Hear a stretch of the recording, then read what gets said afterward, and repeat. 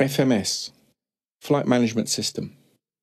The FMS is designed to provide continuous automatic navigation guidance and performance management. It has the layout of a screen and an alphanumeric keypad beneath. It was first introduced on the Boeing 737 200 in 1979 as a performance data computer system. The flight management computer was a huge technological step forward. Smiths Industries, formerly Lear Siegler, has supplied all FMCs installed on the 737. The performance data computer systems were jointly developed by Boeing and Lear Siegler in the late 1970s. It enabled engine pressure ratios and airspeed indicator bugs to be set by the computer and advise on the optimum flight level, all for best fuel economy. It was trialled on two in service aircraft, a Continental 727 and a Lufthansa 737, for nine months in 1978, with regular line crews and a flight data observer. The 737 showed average fuel savings of approximately 3%, with a two minute increase in trip time over an average 71 minute flight. The 727 gave an approximate 4% fuel saving because of its longer sector lengths. The performance data computer system quickly became standard fit and many were also retrofitted. By 1982, the autothrottle had been devised, and thrust levers could be automatically driven to the values specified by the performance data computer system. The true FMC was introduced with the 737 300 series in 1984.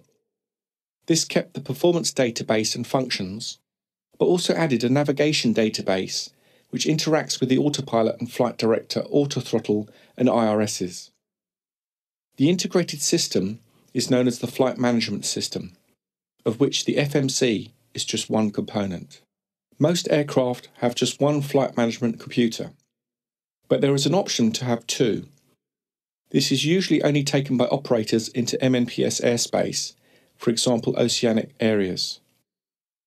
The FMS can be defined as being capable of four dimensional area navigation latitude, longitude, altitude, and time while optimizing performance to achieve the most economical flight possible. Components of the FMS The two main components are the control display unit, which is what you see in the flight deck, and the flight management computer, which is hidden away in the electronics bay. The control display unit is the pilot interface to the FMC. There are normally two CDUs but only one FMC. Think of it as having two keyboards connected to the one computer. The navigation database is used to store route information which the autopilot will fly when in LNAV mode.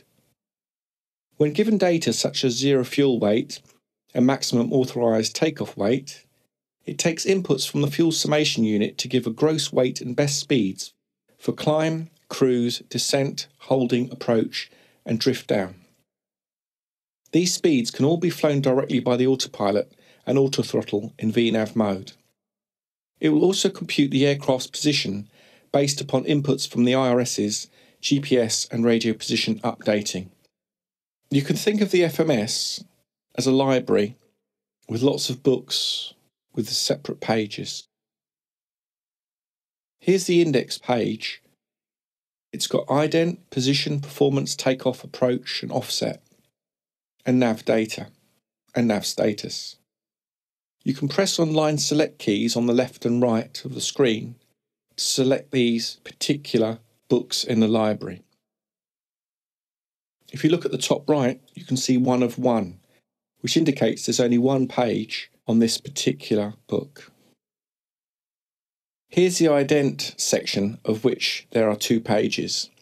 And here we can see that it's a 737-800 series and the engine rating and particular navigation database in use. At the bottom of the screen are quick links back to the index or onto a typical next page which is position initialization. Here's the position initialization page, of which there are three. There's a reference airport and an option for a gate. Here's the position reference pages, of which we're looking at page two of three. The FMC position gives particular coordinates and speeds. There's also the left and the right IRS and the GPS left and right, and also radio position updating position. The pilot can choose any of these to select. Here's the routes page, of which there are three. This is for Stansted on a flight to Dublin.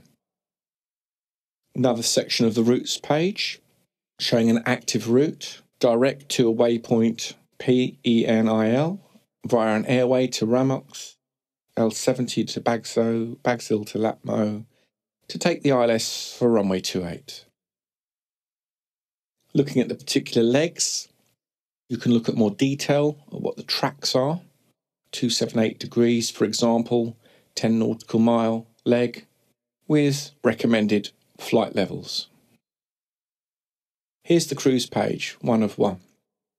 It's an active economy cruise with a cruising altitude of flight level 300. The optimum is actually higher, flight level 394, with a maximum of 402. It's got various other information on there, such as target speeds, a particular N1 setting for turbulence penetration, and how much fuel is estimated for arrival. Here's the descent page.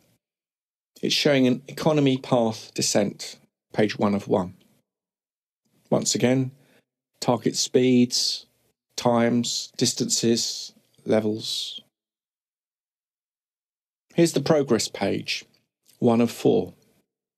This is showing particular legs, altitudes, actual times of arrival, and estimated times of arrival with expected fuel.